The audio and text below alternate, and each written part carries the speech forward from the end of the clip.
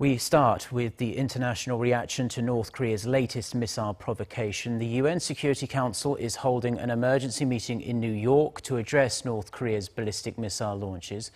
The US is seeking to send a strong message to North Korea, but tension with China over the decision to deploy the THAAD missile defense system to South Korea could make that easier said than done. Connie Kim starts us off.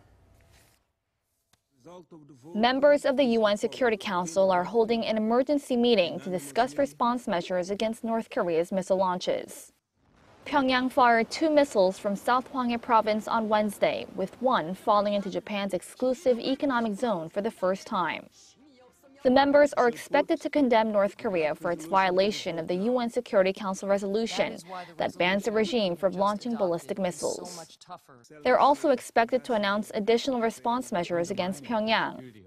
UN Secretary General Ban Ki-moon says the UN is deeply troubled and indicated such actions seriously undermine regional peace and stability.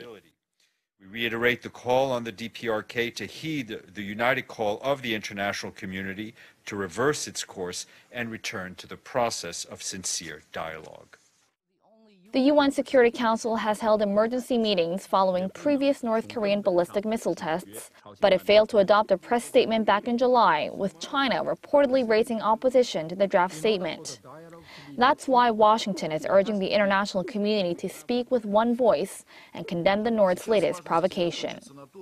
In a regular press briefing on Wednesday, the White House's press secretary emphasized the importance of international coordination stressing that Washington is eager to work effectively with Russia and China.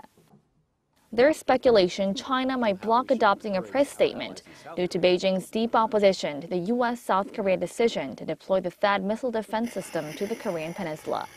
Connie Kim, Arirang News.